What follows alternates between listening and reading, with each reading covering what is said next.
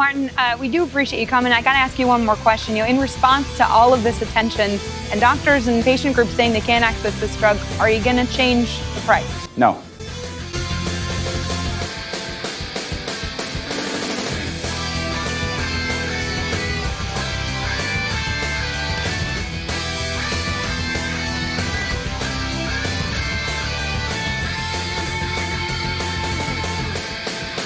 The so-called pharma bro has been sentenced to seven years in prison. Martin Shkreli is a former pharmaceutical executive who was convicted of defrauding.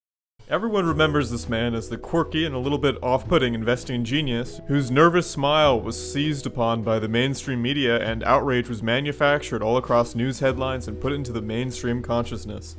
So you're watching this video and you're obviously wondering, what happened to Martin Shkreli? Well, after the Daraprim controversy slowly started to die down, Charges stemming from previous conduct finally made it through the court systems, and in a case completely unrelated to the Daraprim price hike controversy, Martin Shkreli was charged and convicted in federal court on two counts of securities fraud and one count of conspiracy to commit securities fraud.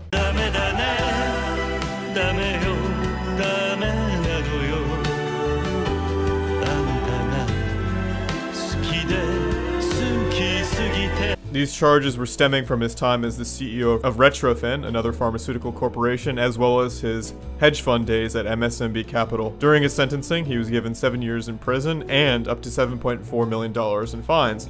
However, there are also many civil charges and other unrelated criminal charges against him still even being litigated as we speak. If you want to follow those, there's a blog that's very anti-Martin Shkreli, but does document the legal twists and turns of his many, many, many civil cases and criminal cases. That blog is martinshkrelilacksjudgment.com. So anyway, after Martin Shkreli's criminal court case and his eventual charging, he was put into the prison system where you can still find him today. If you look up Martin Shkreli, on the Board of Prisons inmate locator, you will find him at FCI Allenwood Low Security Prison. His release date says that he'll be released on October 11, 2023. However, even on the Board of Prisons website, it notes that due to the First Step Act, sentences are being reviewed and recalculated. And Martin Shkreli, depending on what prison reform programs he enrolls in or what happens with his good conduct, he can get out sooner. In fact, I communicated with someone who's running a Twitter account for him on the 27th of January, and he told me, for sure, if I'm lucky, I will see you in December, meaning that he thinks if he's lucky, he can get out in December of this year, 2021. Speaking of which, Martin Shkreli currently operates through a surrogate at least three social media accounts that I'm aware of, including probably his Instagram. So the first is his Twitter, ShkreliMartin15. Thank you for the follow, by the way. The second is his Reddit account, u slash Martin.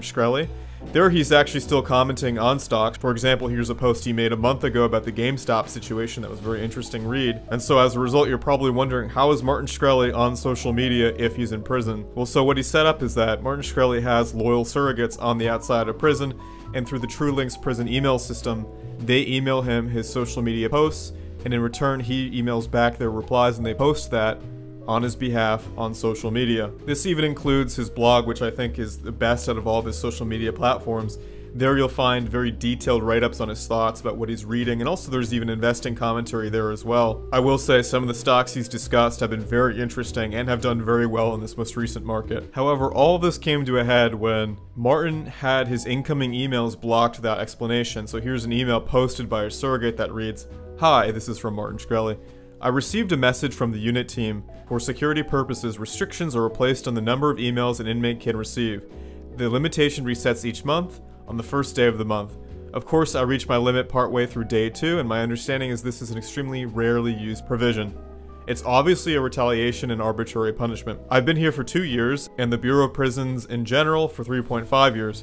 I haven't changed how I use TRULINCS. So that caused about a month's worth of radio silence from Martin, and his communications through his surrogates on social media have, have, definitely decreased since this email was released, but you can still find him occasionally and sporadically posting on Reddit. As for the future, whether Martin is released in 2023 or in December of this year, he plans to get back involved with social media, maybe even restart his live stream. I heard through the grapevine he was trying to get into contact with people who produce Twitch streams and YouTube channels likely trying to start up a podcast, if I had to guess. Seeing as he's been banned from participating in public companies in any sort of management position, this doesn't leave many avenues for him to use his talents. Questions from Google ask, is Martin Shkreli still rich?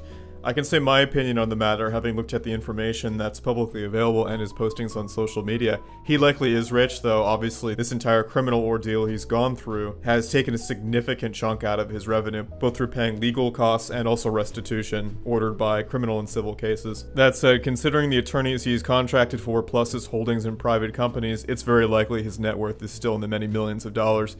We know from a brokerage account that was seized by the FBI that alone was in the $5 million range. He also says he continues to actively trade in stocks. So, is Martin Shkreli still rich? The answer to that is most likely yes. If you're wondering how he's been doing in prison, he says he's very well respected, and I'm inclined to agree. I saw about a year's time ago he posted on his blog directing attention to a GoFundMe to one of his fellow inmates, so if I had to guess, he maintains a good reputation. And sometimes he helps them out financially from time to time. Currently, he's at a low security prison. From what it seems, there are worse fates. As for the future, we can only guess and we can only speculate. So I'll leave that question to you in the comments. Where do you think Martin Shkreli will go from here? What do you think he's going to do after he's released from prison? That will be the real question. The world isn't ready.